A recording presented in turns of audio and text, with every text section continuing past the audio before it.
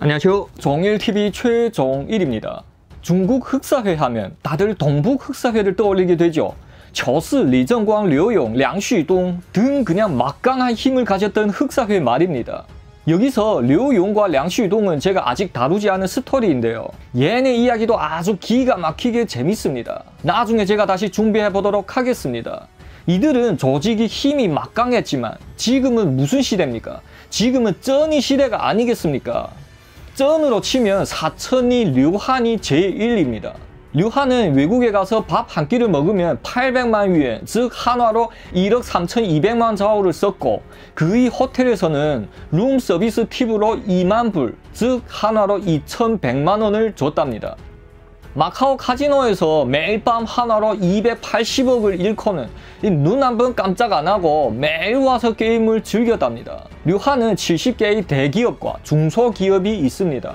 외국에는 그가 소유한 광산이 5개 있대요. 퍼브스에서는 류한을 진흙 속에 숨겨진 진정한 부자라고 얘기했답니다. 사실 그의 재산은 7조 원을 훌쩍 넘어섰습니다. 이제 제 이야기를 쭉 들어보면 아시게 되는 거죠. 그러면 이 류화는 어떻게 되어 이렇게까지 발전하게 된 걸까요? 제가 그의 어린 시절부터 그냥 쭉 한번 상세하게 얘기 드리겠습니다. 류화는 다른 흑사회 큰 형님들처럼 그 태어난 가족은 아주 아주 가난했답니다. 어느 정도냐면 7명의 가족이 10여 평 되는 집에서 그냥 서로 비비며 생활했다고 합니다. 류화는 어린 시절 코를 질질 흘리고 이 어른들 말을 곧장 잘 들었다고 합니다. 야, 류하나, 건두박질 좀 한번 해봐. 이러면 류하는 그냥 코를 질질 흘리며 건두박질을 했고 주위의 어른들은 그걸 보고 그냥 박장대소를 하는 거죠.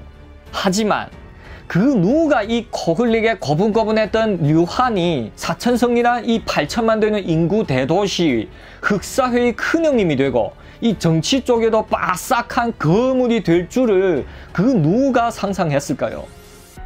이어 류한도 넉넉하지 못했지만 행복했던 어린 시절을 보내고 1983년에는 고등학교에 들어가게 됩니다. 그는 머리가 매우 좋아서 공부에 별로 신경은 안 썼지만 성적은 항상 좋았다고 합니다. 류한은 키 183입니다. 중국 스촨 지역의 사람들은 보통 키가 작고 말랐으니 그의 키와 덩치는 그냥 두말 필요 없이 농구부에 들어갔다고 합니다. 그는 운동도 잘했고 학교 농구부의 센터를 항상 맡았다고 합니다. 하지만 시합이 진행되면 항상 밀려났답니다. 누구한테 밀렸을까요? 네, 바로 학교 교사들이 뭐 자녀들이나 사회 고층 간부의 자녀들한테 밀렸답니다. 중국은 모두 다 이 뒷문입니다. 뒤에서 관계로나 돈으로나 없으면 뭐든 할 수 없는 게 바로 중국입니다. 류한은 처음으로 그런 걸 느꼈고 나중에 꼭 돈이나 사회 환경에서 그 누구한테도 뒤지지 않겠다고 다짐하고 또 다짐했답니다. 농구부에서 밀려나자 그는 학교에서 주먹 좀 쓰는 애들과 친해졌는데 류한은 앞장서서 싸우는 그런 스타일이 아니고 이 머리를 쓰고 다른 주먹들을 이용하여 싸우는 스타일이었다고 합니다. 그의 덩치와 주먹으로는 학교 짱을 먹고도 남았는데 항상 자기는 주먹을 쓰지 않고 학교 짱을 먹었답니다. 왜냐면 그의 친형 류지에는 어릴 적부터 사회에 나와서 극사회 조직에서 이름을 좀 날렸고 그의 친동생 류웨는 더 그냥 날아다녔다고 합니다. 류웨는 광한 지역이 중등학교 주먹 세계를 평정한 강바즈였다고 합니다. 중등학교 애들 무서운 거 아시죠? 그 바닥에서 한 개 학교도 아니고 한 개 시에서 그냥 활개치며 다녔다고 합니다. 이런 형과 동생이 있었으니 류하는 주먹을 써보지도 못하고 학교에서 그냥 짱을 먹게 되는 거죠. 하지만 주먹짱에 별 큰 관심이 없었던 그는 고등학교 때 한 가지 사건이 일어나게 됩니다. 그때 비즈라고 이 게임용 동전이 있었는데요. 저도 학교 다닐 때 많이 놀아봤습니다. 우리 그때는 제일 사치이며 제일 그냥 짜릿한 게임이었거든요. 1위엔을 주면 이런 게임용 동전을 3개 줬는데 그것을 게임기 안에다 넣고 이 내기를 하는 거죠. 만약 딱 맞추면 이런 게임 동전이 뭐 두 개가 나올 수도 있고 10개가 나올 수 있고 심지어 운 좋으면 30개가 한 번에 딸 수도 있는 겁니다. 만약 30개를 따서 사장님한테 주면 10위엔을 돌려주는 거죠. 뭐 생각 같아서는 유혹이 아주 크지만 사실 그냥 다 코흘리개들이 돈을 얼려내는 겁니다. 그는 그 재미도 재미였지만 어떻게 그, 그 게임 기계를 크게 잘 터지게 만들지 못할까 그런 생각을 하게 되었답니다. 하지만 쉽지는 않았죠. 그러다 그의 눈에는 너무 낡아서 버리려고 빼놓은 게임기가 보였답니다. 그는 사장과 타협하여 그 게임 기계를 사들였습니다. 그리고는 이 집에서 밤을 새가며 맨날 혼자서 연구했답니다. 결국 어땠을까요? 그는 그 게임기 규칙을 알아냈으며 이 뒤에서 조작이 가능하다는 버그도 알아냈던 거죠. 이어 그는 오락실에 가서 10위엔어치 게임 동전을 사고 그것으로 10여만 위엔이 게임 점수를 따게 됩니다. 그 게임 점수는 동전 개수로 빼낼 수 없을 정도였죠. 류한은 이어 사장을 찾아가서 현금으로 바꿔달라고 합니다. 그 사장은 그 점수를 보고 그냥 식겁하죠. 그 시기에 10여만 위엔이 어디 있습니까? 사장은 말도 안 된다고 못 주겠다고 딱 잡아뗍니다. 그리고는 100위엔을 주며 그냥 쫓아보내죠. 너 잘 걸려들었다. 에 그는 집에 돌아가 형과 동생한테 이야기를 합니다. 그 말을 듣고 열받은 그들은 애들을 수십 명을 모아서 게임장으로 향합니다. 그의 형 류제는 들어가자마자 그냥 망치로 게임기 한 대를 확 박살내고는 어이 아저씨 장사를 하려면 신용을 지켜야지 안 그래? 10여만 위엔이라던데 오케이 할인해서 10만 위엔만 줘. 아 만약에 안 주면 내 이 게임장을 몽땅 다 박살내겠다.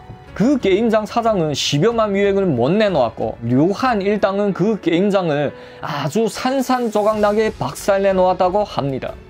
이 일로 류한이 형 류젠이 총대를 메고 이 감옥에서 2년을 썩게 됩니다. 그리고 류한은 그 동네에서 묘소 류한, 즉 손재주가 아주 기가 막힌 묘수 류한으로 불리웠답니다. 그리고 이 일은 류한으로 하여금 큰 돈을 벌려면 정정당당한 방법보다는 이렇게 뒤통수를 쳐야 되고 힘으로 밀어붙여야 한다는 걸 배우게 된 겁니다. 류한도 그때 법이 심판을 벗어나지 못하고 아바주의 목재 채굴 공장에서 1년 동안 강제노동을 했답니다. 지금이 그 소년원 같은 거죠. 하지만 다른 사람들한테 그것은 춥고 힘든 강제노동이겠지만 류한은 또 거기서 기회를 엿봅니다. 그는 그곳에서 목재 매매 전문 절차랑 어떻게 사면 좀 더 싸게 살 수 있나 어떻게 뒤에서 뇌물을 먹이면 확실히 더 싸게 살 수 있냐를 다 그냥 배우는 거죠. 아마 보통 17세 소년이었다면 맨날 자신이 처지를 한탄하고 이것저것 불만만 그냥 눈에 가득 보였겠죠. 이 아바주 목재 채굴 공장에서의 경력은 그한테 나중에 첫 번째의 목돈을 모으는데 아주 중요한 작용을 하게 됩니다. 류하는 고등학교를 졸업하고 국유 기업의 안배를 받았는데 한참을 다니다가 성격이 맞지 않아 퇴사하게 되었답니다. 다른 사람 밑에서 거분거분하게 출근하는 것은 류한한테 어울리지 않았죠. 1988년 그는 국유기업에서 퇴사한 후 주동적으로 이 아바주에 가서 목재 장사에 뛰어들었다고 합니다. 이는 주위에서 많은 사람들이 반대했지만 그의 고집을 꺾을 수는 없었답니다. 왜냐면 그때 그는 결혼을 하게 되었는데 그의 장인어른은 그 지역이 공안국 부국장이었답니다. 그나마 높은 관직에 있었으니 사위 보고 그냥 공무원 간부직을 안배해 줄 수 있으니 그냥 여기 있어라 라고 했지만 그는 자신과는 어울리지 않다고 그냥 딱 잡아댔습니다. 큰이라는 사람들은 자신이 뭘 잘하는지 그리고 뭘 좋아하는지 잘 알고 이렇게 시작하는 것 같아요. 그는 짐을 꿍겨꿍겨 챙겨갖고 곧바로 아바주로 출발합니다. 이 아바주는 제가 그 전에 얘기 드렸던 장족과 창족이 자치주입니다. 그 환경은 엄청 험악했죠. 그때 목재장사는 이렇게 진행되었습니다. 왜서 굳이 이렇게 밑에까지 와서 올라가냐면요. 이 빨간 노선은 배로 갑니다. 웅비가 싸죠. 그리고 파랑 노선은 기차로 갑니다. 네, 또 웅비를 많이 절약할 수 있죠. 이곳 아바주에서 사천성까지는 기차가 통하지 않습니다. 만약 트럭으로만 운반하면 그 수지가 맞지 않았던 거죠. 물론 이 수상 운수와 기차로 운수는 나라에서 꽉 잡고 개인들은 못 건드렸습니다. 류한은 아바주로 기대 만땅으로 찾아왔지만 이미 그때의 아바주가 아니었습니다. 이곳 장조 시민들도 뒷돈을 너무 쳐먹어서 웬만큼 안 주면 그냥 쳐다도 안 봤죠. 네, 이미 이곳은 포화 상태가 되어버린 거였습니다. 그들이 요구하는 돈을 다 주고 나무를 실어 나르면 이윤이 매우 적어서 굳이 그렇게까지 할 필요는 없었죠. 그때 다른 장사꾼들은 모두 그냥 혀를 끌끌 차며 에이 우리가 너무 늦게 시작했어. 옛날에는 그렇게 달달했다던데 이젠 한물 갔어. 하며 다들 그냥 포기하는 상황이었습니다. 하지만 류한이 눈에는 그것들은 그냥 다들 변명에 그치지 않았죠. 그는 장족 가정에 숙박하며 한 달 정도의 시간을 가지며 현지 조사에 나섰습니다. 이어 한 달 동안 꾸준히 조사한 끝에 그는 한 가지를 발견하게 되었습니다. 이쪽 아바주는 티벳이 서쪽에 위치해 있다 보니 생활용품이 엄청 많이 부족했습니다. 이곳 주민들은 항상 그 비싼 생활용품 때문에 골머리를 썩였죠. 이것도 그 전에 많은 사람들이 발견하고 또 해왔습니다. 뭐 한 트럭 생활용품을 사와서 이곳 시장에서 비싸게 팔고 네, 그 돈으로 나무를 사서 다시 돌아가서 파는 거였죠. 하지만 비싸게 팔고 또 비싸게 나무를 사들이니 그냥 거기서 거기였습니다. 이어 부침성이 좋았던 류하는 그 지역의 목재 채굴장이 책임자를 찾아가서 합의를 보게 됩니다. 여기서 필요한 건 생활용품이지. 내가 그 생활용품을 계속해서 이 온전하게 공급하겠다. 우리 돈으로 사고 팔고 하지 말고 물건으로 직접 바꾸자 이겁니다. 물론 그렇게 하면 너희 장족 주민들한테 더 유리하게 이 싼 값에 받을 수 있는 대신 나한테 주는 거는 이 나한테 파는 나무를 그 나무의 질량에 대해 좀 더 신경 써달라는 거였습니다. 이러면 장족 주민들도 온전한 생활용품을 좀 더 합당하게 바꿀 수 있고 류하는 값비싼 나무들을 더 얻을 수 있어서 그 리운을 엄청나게 챙길 수 있었던 거죠. 물건으로 물건을 바꾸는 이런 형식은 고대 사회에나 존재했지만 나중에는 그냥 다 화폐로 대신되었죠. 하지만 지금도 많이 존재하고 있답니다. 특히 중국과 러시아 이 두 나라 간의 장사꾼들은 문물 교환을 더 선호했답니다. 그리고 중국과 북한의 문물 교환은 그야말로 어마어마하게 진행됩니다. 저희 기억에 아직도 생생한데요. 그때 저희 엄마와 누나도 옷을 두 보따리 그냥 꽁꽁 싸매 가고 그 북한에서 털개를 바꿔서 먹었던 기억이 납니다. 아마 전 세계에서 제일 달달한 게는 북한이 털개였던 것 같습니다. 류화는 다른 사람들이 다 늦었다고 실망할 때 이런 방법을 생각해내어 또 사업을 추진해 나가는 겁니다. 그 소문을 듣고 다른 사람들도 그대로 하고 싶었지만 이미 그쪽 장족 주민들한테는 류한 하나만 인정했고 할 수 없어 류한한테 달려가 받아달라고 하는 거죠. 류한은 이렇게 트럭 한 대로부터 시작하여 몇백 대의 트럭을 관리하는 큰 물류업체로 발전하게 되는 겁니다. 그 수백 대의 차량이 운반하는 생활용품과 나무들은 류한한테 거액의 수입을 가져다 줬답니다.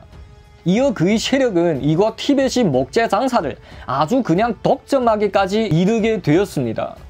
이곳 티벳 지역은 이 목재 장사로 먹고 사니 류하는 그들한테 매우 중요한 사람이 되는 거죠. 근데 사천성 정부에서는 또 서북이 이 티벳 지역의 경제에 대해서 엄청 신경 쓰고 있었죠. 그러니 그 당시 류하는 사천성 정부로부터 영웅대접을 받게 되는 겁니다. 그리고는 이 정부 고층 간부들과 긴밀하게 접촉을 가지게 되는 거죠. 류하는 이 시기에 2년도 안 돼서 300만 위엔이 거금을 벌어들였답니다. 그 당시에는 엄청난 금액이죠. 이렇게 다른 사람들은 늦었다고 생각할 때 류하는 그 자리에서 그냥 울뚝 일어서게 되는 거였습니다. 제일 첫 목돈을 챙기고 류한이 사업은 그 어느 방향으로 또 이어지게 될까요? 이렇게 젊은 영웅 대접을 받던 류하는 무엇 때문에 흑사회 조직을 결성하게 되었을까요? 네, 이 회에서 계속 하겠습니다. 자, 이제